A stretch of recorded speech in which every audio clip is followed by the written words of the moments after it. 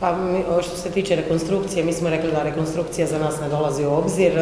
Ovo se ne može rekonstruirati od 2016. godine. Mi vidimo dakle da vlade Andreja Plenkovića nisu stabilne, odnosno da se ministri izmjenjuju uglavnom zbog uskokovih istraga. To se neće promijeniti, nije se promijenilo evo niti sa ovom novom vladom u zadnjih godinu i pola i poprilično je postalo jasno da HDZ jednostavno ne može zbog korupcije i klijentelizma u vlastitoj stranci imati stabilnu vladu. To je prvo. Dakle, za nas ova vlada mora otići, mi smo to rekli i ne samo rekli, mi smo i zajedno sa drugim članovima oporbe od centra ljevo uputili zahtjev da se raspusti sabor i da se raspišu izbori.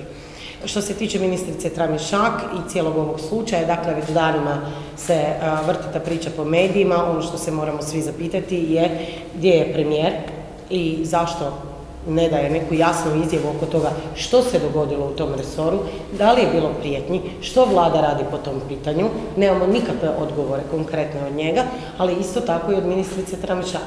Dakle, s jedne strane bacila se ta afera u medije i onda su se negdje svi povukli i niko ne govori ništa.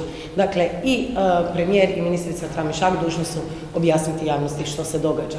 Što se tiče same ministrice i odnosa s premijerom, iz načina na koji je ona objavila javnosti, a da prije toga nije obavijestila premijera i svog predsjednika stranke, vidimo da u toj vladi nema povjerenja i to na najvišoj razini između ministara i premijera, a onda se to vidjelo i po izjavama samog Plenkovića koji je po svemu odao dojam da u ministricu Tramišak nema nikakvo povjerenje više.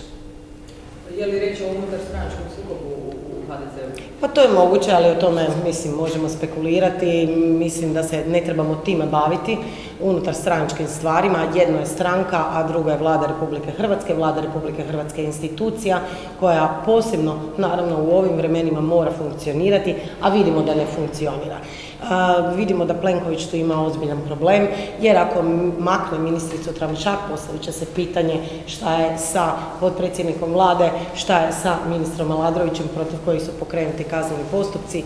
Dakle, on je, je u to, tu u jednoj pad poziciji da ako makne nekoga ko je sam pokrenuo kazneni postupak jer su na njega navodno vršene, vršeni pritisci i prijetnje i ucijene, a nije maknuo one za koje se vodi istraga zbog potencijalne korupcije, on je naravno onda u velikom problemu. I zato ponavljamo, ova vlada se ne da rekonstruirati, ova vlada mora vratiti mandat građanima, sabor mora vratiti mandat građanima i moramo ići na nove izbore. Je li vam neobično da premijer kaže za slučaj ministrice da je bizaran, a recimo kada su dvojica ministara vlade postali uskokovi okrivljenici, birao je riječi, ničem ih nije napao i ništa mu nije bilo bizarno u toj priči. Pa gledajte, meni je jasno da gospodinu Plenkoviću nije bizarna korupcija u HDZ-u. Mislim, realno gledano nije bizarna više nikome u ovoj zemlji, dakle to je kod nas, kako to Plenković kaže, da ga parafraziram, business as usual. Mi svaki mjesec imamo jednu korupcijsku aferu koju je počinio neki viši dužnosnik HDZ-a. Dakle, ne neki niže rangirani u nekoj lokalnoj samoupravi, općinici za koju niko nije čuo, nego ljudi koji sjede u Saboru i ljudi koji sjede u vladu. Dakle, da, mene ne čudi da njemu korupcija nije bizarna, a bizarno mu je, bizarno mu je, da ministrica Tramišak nije iskomunicirala prvo njemu. I moram reći u političkom životu, to jest čudno, da ministar ne bi prvo premijeru i svom predsjedniku, dakle iz stranke, iste su stranke, ne, ne bi njemu rekao što se događa. Međutim, moramo sagledati i drugu situaciju. Možda postoji opcija da se o tome razgovaralo, pa mi to ne znamo. Jel? Da, da je ona... neslužbene informacije da je ministrica pokušavala doći do njega. možda, možda je ona to iskomunicirala nekim ljudima, možda su visoki dužnosnici i u vladi i u stranci za to znali, pa su to pokušavali zataškati. Dakle, ne znamo, postoje različite opcije i zato podcrtavam ono što sam rekla.